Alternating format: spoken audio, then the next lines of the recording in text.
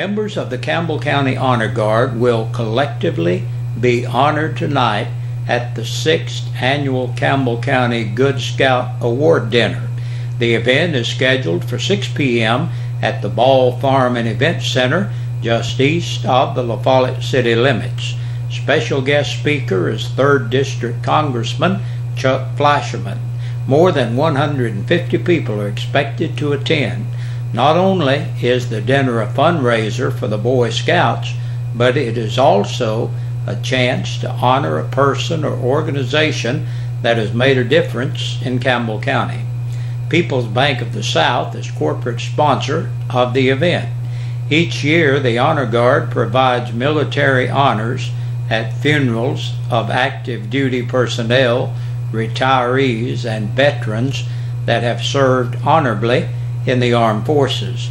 The Honor Guard also provides support for patriotic ceremonies and parades. In 2012 alone, this group of volunteers performed 107 military burials.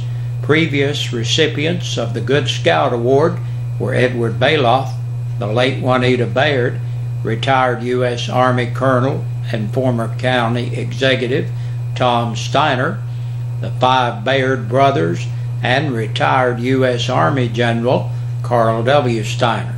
For tickets to the dinner, contact Logan Hickman at the People's Bank of the South at 423 562 4921.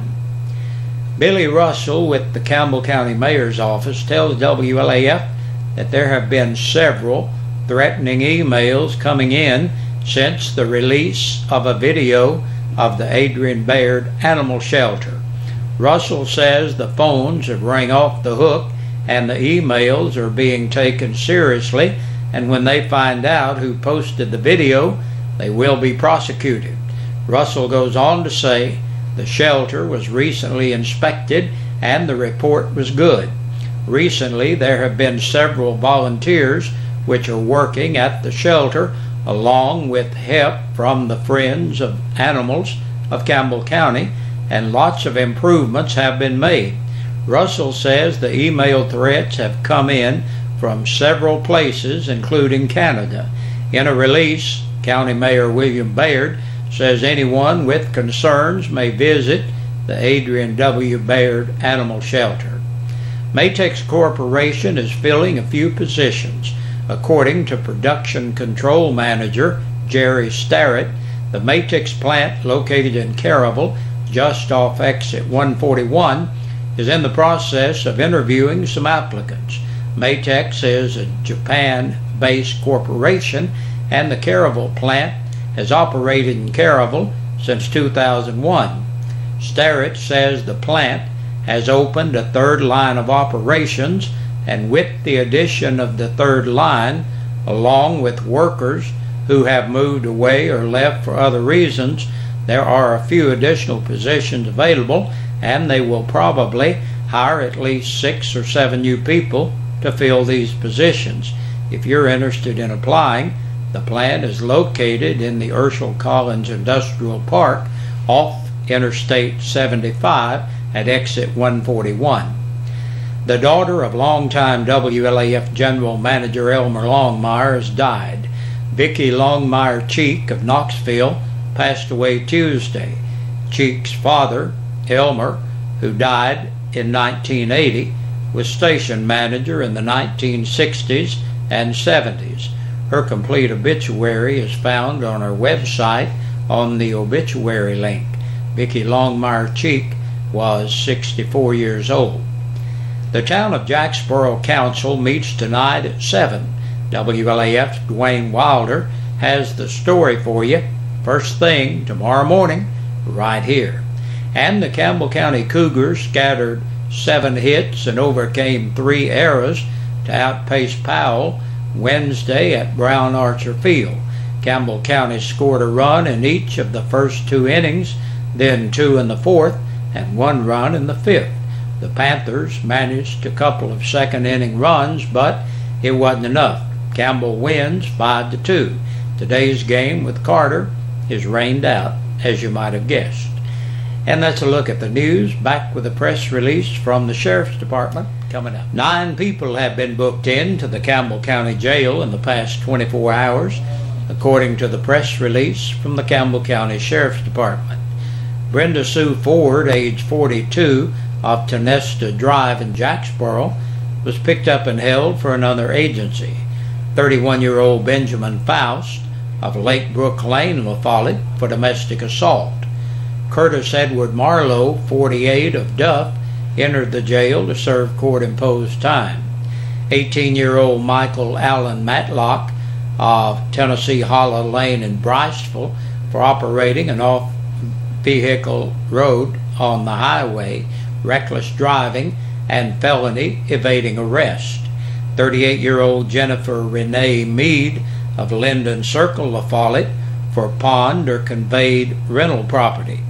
Jonathan Tyler Stanford, 18, of Old Long Hollow Road, La Follette, for vandalism over $10,000, two counts of burglary, criminal trespassing, and theft of property between $1,000 and $9,999.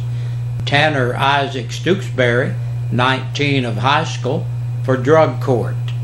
18 year old Dylan Stone Thompson of Ivydale Road in La Follette, two counts of vandalism and two counts of burglary, trespassing, and theft of property between $1,000 and $9,999.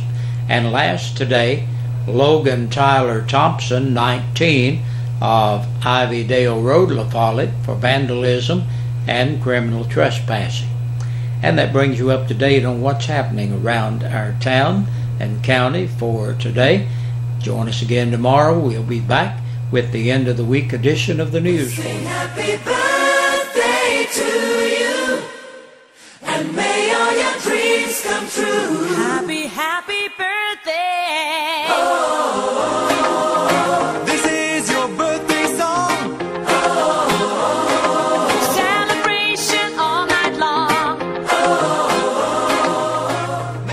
Hey, Big Josh with you on this Thursday with our birthday and anniversary club. And our birthday and anniversary club is brought to you by WLAF and Eastside Pizza and Deli, located in the Food Lion Shopping Center.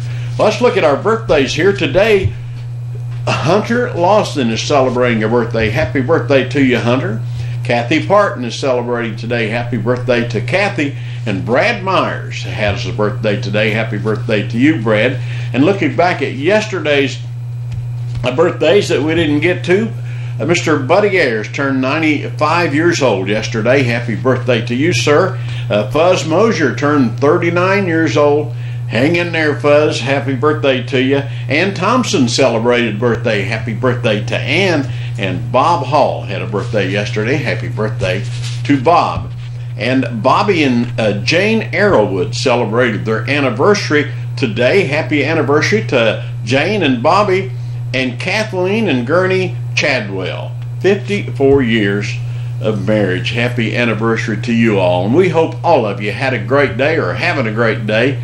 Now, if you're celebrating your birthday or anniversary, we need to have your name on our list in here because that's the only way that you can qualify for the drawing that we have on Friday. So tomorrow we'll be drawing uh, for the birthday winner and the anniversary winner, and you could win a birthday dinner for two or an anniversary dinner for two from WLAF and Eastside Pizza and Deli. So get that name in here, will you? That's the only way you can qualify. Good night. We'll see you later.